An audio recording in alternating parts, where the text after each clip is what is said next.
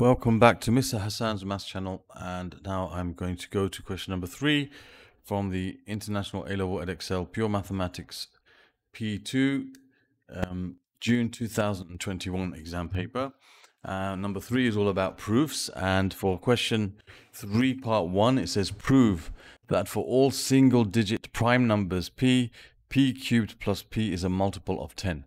Now this is a very clear example of something which is called proof by exhaustion. Okay, because there is just a very few number, okay, a very limited number of single digit prime numbers. So the first prime number is 2, and then you have 3, and then you have 5, then you have 7. Okay, those are the only single digit prime numbers that exist. So all we have to do is to check to see if these actually uh, make this statement true. And if they all do, then we have proved this statement. Okay, so let's try when p equals 2. We've got p cubed plus p will become 2 cubed plus 2, which is 8 plus 2, which is 10. And we can see 10 is equal to 10 times 1, so it's a multiple of 10. Okay, and when p is equal to 3, you're going to have p cubed plus p will give you 3 cubed plus 3, which is 27 plus 3, which is 30. And we know that 30 is equal to 10 times 3. Therefore, this is also a multiple of 3. Uh, sorry, multiple of 10. And when p is equal to 5, you're going to have 5. You're going to have p cubed plus p is going to give you so p cubed plus p will give you 5 cubed plus 5. 5 cubed is 125 plus 5, which is 130.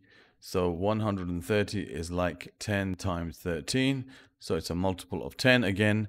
And when p equals 7, you're going to have p cubed plus p equals 7 cubed plus 7. And 7 cubed is 7 cubed is equal to 343. So you have 343 plus 7, which is 350. And 350 is the same as 35 times 10, or you can say 10 times 35, same thing. 10 times 35.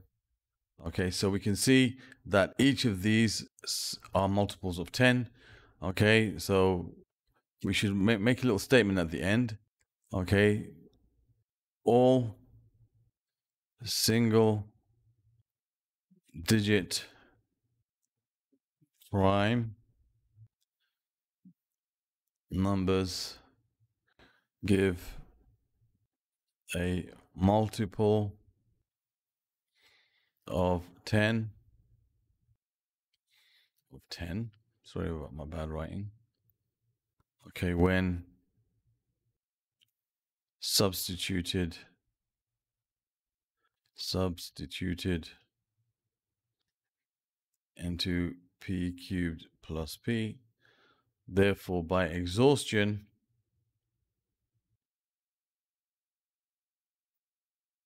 the statement is true. The statement is true something like this, just a little statement to show mm-hmm. that we have uh, exhausted all the possibility, possible values of single digit prime numbers, okay, 2, 3, 5, and 7, and all of them gave a multiple of 10. Remember, 1 is not a prime number because a prime number is defined as a number which has exactly two factors, 1 and itself, and 1 only has one factor, so it's not a prime number. Prime first prime number is 2, then you have 3, then you have 5, then you have 7. 9 is not a prime number as 9 has a factor of 1 and 3 and 9. So it has to have exactly two factors, no more, no less. Okay, so there's the answer for 3 part 1. It's a proof by what's called exhaustion.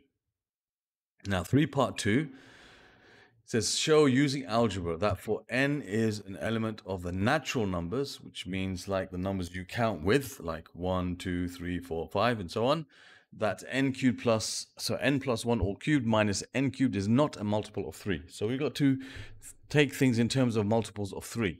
Now, as we've got something being cubed, all right, so you have a bracket that's cubed, we're going to end up with 3's in the terms because um, when you expand something like this, you'll notice that you'll get threes. If you remember Pascal's triangle, okay, you have something like this.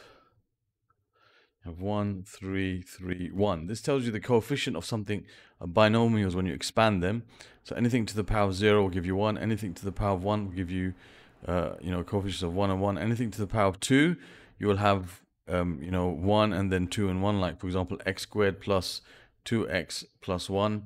And when you have 3, okay, to the power of 3, you'll end up with, like, for example, this will become n cubed, 1 times n cubed, plus 3 times n squared, plus 3 times n, plus 1. Okay, so you, you'll see we'll have 3's in there, which is going to help us to show um, things in terms of multiples of 3. Okay, so that's why it's um, something we just can straight away expand this. And we'll see that we'll end up with multiples of 3 um, and we can then check to see if it's going to be multiple of 3 or not. So if you expand this bracket, n plus 1 cubed minus n cubed, I mean, we could expand it the traditional way, where you do n plus 1 times n plus 1 times n plus 1, and expand this, you'll have n plus 1 times n squared plus 2n plus 1. Then expand again, you have n, n cubed plus 2n squared plus n, and then plus n squared plus 2n plus 1 n squared plus 2n plus 1. You have n cubed plus 3n squared um, plus 3n plus 1. Okay, but you can use this Pascal's triangle to do that as well. You can say, okay, you're going to have the n, the, the n cubed term is going to be 1 n cubed. So this will give you, uh, let's write it here, n cubed. And then the n squared term is going to be 3n squared. And the n term is going to be 3n because you have 1, 3, 3, 1. And then you're going to have 1 at the end. And then you have minus n cubed from that part. And then if you see n cubed minus n cubed is 0. So you're left with 3n squared plus 3n plus 1. Now, this is not a multiple of 3. Why? Because if we take 3 out as a factor of the first two terms, okay, you have 3 times n squared plus n plus 1. Now, this is a multiple of 3. This is a multiple of 3. For sure, because it's multiplied by 3. Okay, so this is a multiple of 3, but you add 1 to it, it's not going to be a multiple of 3. Okay, so this is 1 more than a multiple of 3. So you can say that 3 times n squared plus n plus 1 is 1 more. Is 1 more than a multiple of 3. Therefore, it cannot be a multiple of 3. Therefore, cannot be a multiple of 3. Okay, so that's something we can uh, write down um, to prove our little statement there. Okay, so you could have expanded it in the traditional way of just expanding, you know, n plus 1 times n plus 1 and then multiply by n plus 1 again. Or you could think about Pascal's triangle. You're going to have this term cubed, then 3 times this term squared, then 3 times this term just to the power uh, 1 and then 1 times this term to the power of 0 which gives you 1 okay so there's the answer for question number 3 and that's a pretty short question um, so other questions this is actually quite a new topic it just started when they started the new syllabus of P2 so there's not that many questions that you'll see in the uh, playlists because the old papers C C1 2 and the old um, C1s and C2s whatever never had this topic of proofs in them so um, this is something relatively new. So you'll find questions that are from this paper, the other questions from this particular paper, June 2021 P2. You'll find them in the playlist that should appear in this area at the end of the video. Uh, underneath it, you'll find questions that are related to proofs from P2. You can subscribe to my channel by clicking on this link. At the top of the page here, you'll find a card that should have been appearing from time to time, which takes you to another P2 paper. And in the description of the video, you'll see links to other papers P1, P3, P4, M1, S1, and also some IGCSE um, um, questions. Um, you'll see the links in the playlist. Thank you for watching and see you soon.